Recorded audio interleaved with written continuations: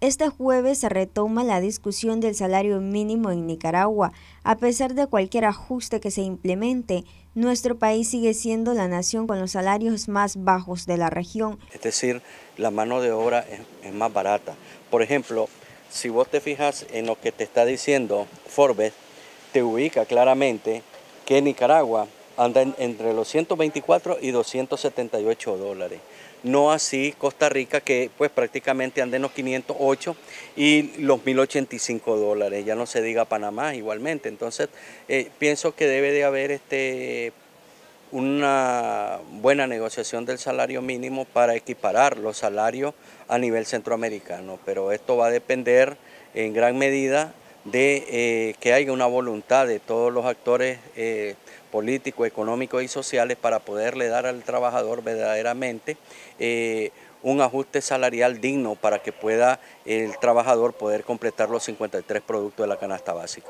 López explicó que un trabajador contratado por servicios profesionales no goza del ajuste salarial. Es que lo que pasa de que, Darling, son dos cosas muy diferentes. El contrato laboral está regido por la ley 185 y los contratos de servicios profesionales son meramente mercantiles, es decir, los rige el Código Civil y el Código de Comercio. Entonces, eh, son rubros diferentes porque eh, un trabajador por ejemplo, está sometido a la disciplina laboral, tiene un horario de entrada y un horario de salida, mientras que el que está bajo la figura de servicios profesionales, esta persona únicamente está por horas y una determinada obra o un determinado servicio. Es decir, no está sujeto ni a la supervisión, sino que únicamente está ya programado en el servicio profesional a entregar, por decirte algo, necesito que me eh, hagas 10 o 20 contratos laborales, entonces únicamente voy a saber qué es lo que tenés que hacer,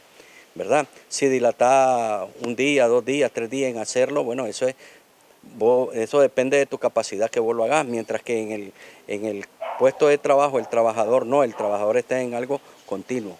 Es decir, tiene una jornada laboral, eh, tiene un descanso para almorzar, una hora de entrada y una hora de salida. Noticias 12, Darlene Telles.